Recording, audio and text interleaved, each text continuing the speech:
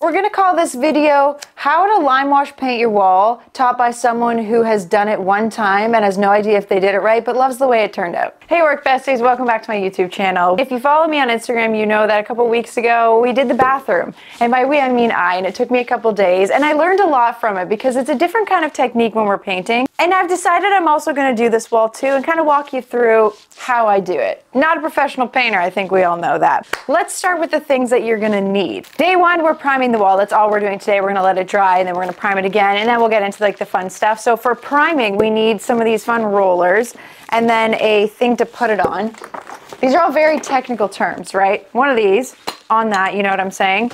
Some tape because we're gonna tape off everything because I do not trust myself to not just get paint absolutely everywhere. One of these, liner things. And then of course we need the paint. So I purchased the primer from the same place that I got the lime wash because it's specific for the lime wash. And I'm like, if I'm gonna do it, I may as well do it right. I don't wanna have to do it again.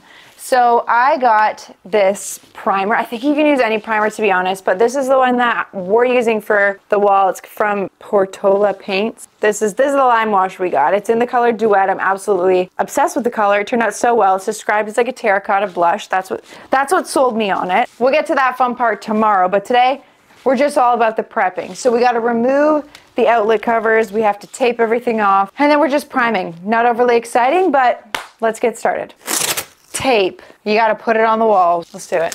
Because we use such a big brush with lime washing, you really want to cover up everything because it gets a little bit messy, at least when I do it. Almost done, the most boring part. All right, we're ready to prime. Super thrilling. So We've got our roller on the brush. Paint tray is ready. It's really not exciting because it's white primer on white paint, so it's actually a little difficult to see at times. It's necessary, I think. We want to give the lime wash the best opportunity to do its lime washing thing. I also am like fully debating doing the ceiling also. I'm just really dreading that angle of painting and how much that would hurt over time. So I'm going to start with this wall, also see how much paint I have left after it, and maybe if I'm feeling up to it, I'll also do the ceiling. I'll be back when this is done. I'm calling it good. I'm saying that I'm satisfied with this effort for tonight. Now we're just gonna let it dry. We'll see you tomorrow. It's day two, nice and early, so we can get the primer on so that the second coat can dry, and then we can start actually lime washing by the end of today, which is the exciting part. So Second coat of primer, it's going on, let's do it. Today we're gonna start with a little more of a plan so I don't forget where I've gone.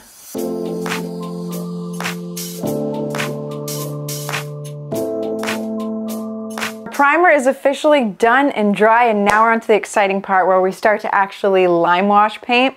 So a few things you're gonna need for this. One, your lime wash paint. I got pre-mixed paint, but you can do it with like a big tub of lime wash as well, I'm told, if you mix water with it. I don't know how to do that, and you actually don't use a lot of paint in this technique, so this gallon's gonna take me quite far. And then to apply it, you need a five, or I guess you could do a six inch brush as well. This is a deck stain brush. You can also use a masonry brush. Couldn't find one here. So this has been actually working quite well. And then I do recommend wearing a glove also on the hand that you're going to be painting with, which I did not do last time and my hand was dry and cracked and maybe had a little bit of a reaction last time, but um, we're gonna learn from our mistakes and wear a glove. Other than that, something to put the paint in, I just picked up these little plastic, what are you called? Paint, reusable mini trim tray. Couple, couple things I learned from the first time is one, you gotta work fast. So there is no stopping this wall halfway through to take a break.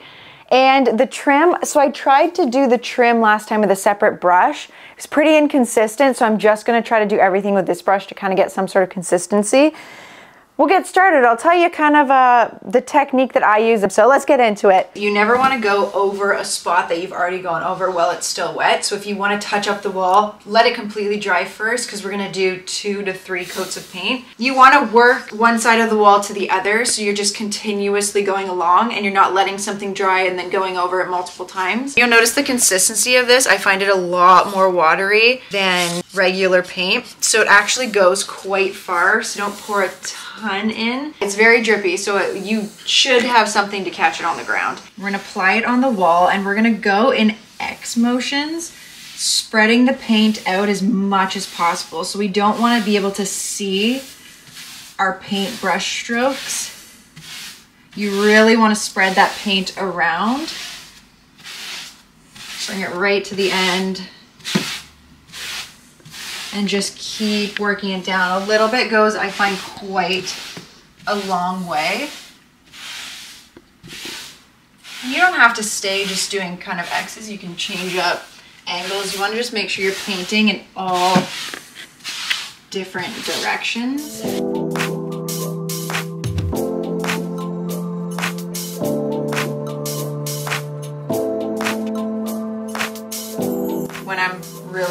Stretching the paint out, it gives that dimension to it versus the streaks when you first apply the paint.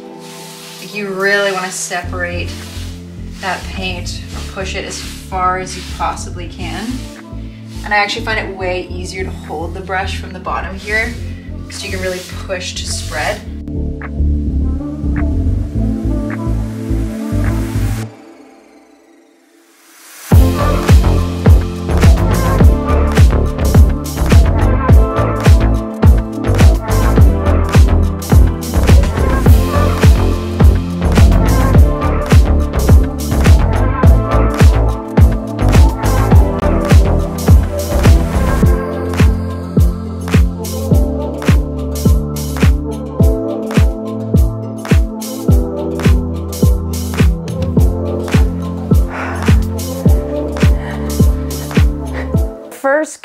Is done. You can kind of see how fast it dried as the clip went on. We're gonna let this sit until tomorrow and then I'm gonna go over it once more and then a third time with a watered down version of it. So I feel like that's what works the best. That was recommended. That's what I did in the last room and I'm really happy with how it turned out, but it looks good. I like it. I like it a lot. We'll see you tomorrow. Make sure you reseal the paint also overnight because it will dry out if you don't. Things. Action. Day three of this project and we're on our coat number two of the lime wash. We're gonna do it exactly the same way that we did yesterday. You can kind of see there's certain areas on the wall where the X shapes overlapped but didn't get a ton of paint in one area and it kind of has this speckled look which I think is really cool. But today I'm just gonna make sure that I apply a generous amount of paint over those areas so that it doesn't look super off as it dries on the next coat. Same thing as yesterday, and we're gonna apply one coat, wait eight hours today, and do the last one, and then we're done. Let's get to it. Safety first, don't forget the glove. Don't be like me. Your hand will thank you. The corners, I'm just trying to make sure that it doesn't get streaky and the paint goes all the way in but not too thick otherwise it'll sit and look a little bit deeper of a color but potentially more streaky from what I found and I personally because I'm doing an accent wall I don't mind if the outer corners are a bit lighter because then it feeds into the other walls since they're white I'm making a mess how did this happen? That was from yesterday. Can you wipe that down, please? You might also be wondering, why is he not helping you paint? Is it because he's lazy? Well, I'll tell you the real reason I cannot get up. Um, it's because I think there's like somewhat of a technique that goes into this, and I think it would be pretty inconsistent if you had two people doing different techniques or, you know, spreading differently, not spreading the paint enough, spreading too much. So I feel like in order to get a consistent look throughout the wall, it's best to just have one person doing it. And then it's nice to have someone to support, you know, if one of the brush hairs gets stuck in the wall, they can go pick it off. Or like me, if you just flick paint everywhere, then they can go kind of clean that up or move the ladder as you go. So that's why I'm the only one painting.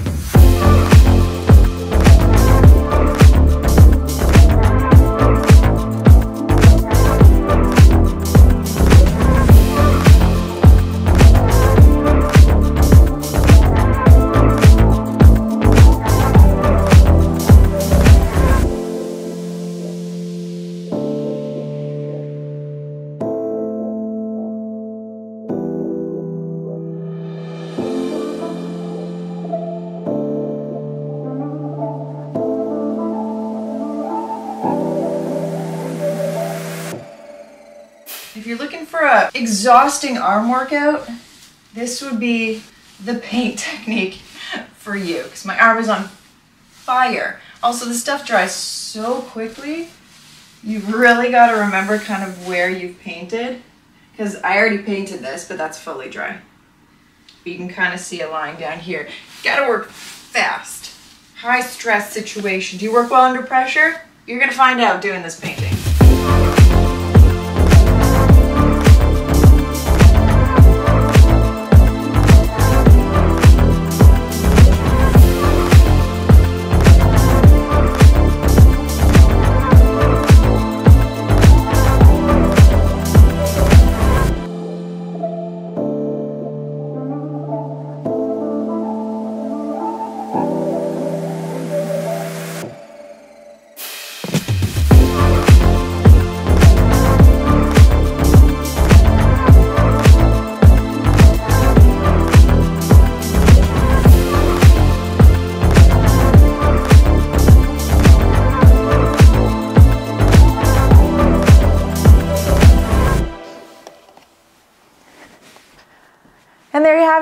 Our second coat is officially on, so we're gonna let this dry completely, and then we're gonna do our third coat, which is a watered down coat, which goes a little bit quicker. But it does get a little bit messier because it is quite moist, if you will. We're gonna let it dry and see how uh, see how it turns out. We'll come back in a couple hours and do the third and final coat. So it's about eight hours later. It's completely dry, and to be honest, I'm not sure I want to do a third coat on it because I really like this kind of veiny texture that's come through. That's the thing with lime wash. I feel like you just kind of have to read the room with it and see what you like. I could do a third coat. If I was gonna do a third coat, which I did when I did the bathroom, I took basically half paint, half water, and did a really watered down, same technique version of it. And I feel like that completed the look down there. But I was also learning as I went, so I definitely made a few mistakes and wanted to kind of correct. But I'm really happy with how this has kind of turned out, and I really like the color that it is.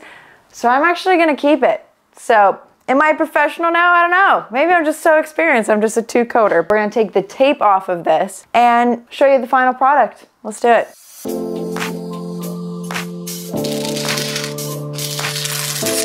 It's all right, we can fix that with tweezers.